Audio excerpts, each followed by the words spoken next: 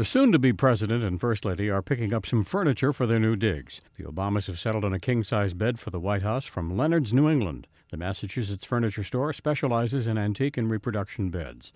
The store says it was asked a few weeks ago to send some photos of the beds in stock to the Obamas, and one was delivered to 1600 Pennsylvania Avenue over the weekend. The bed they bought is from the early 1800s. It was probably made in New Jersey, Pennsylvania.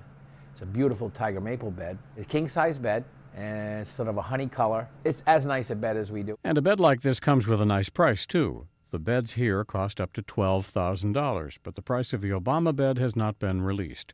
Meanwhile, the store's owner says he's proud that an antique from his shop will now be part of history in Washington. It's quite something to have a, one of our beds go to the White House.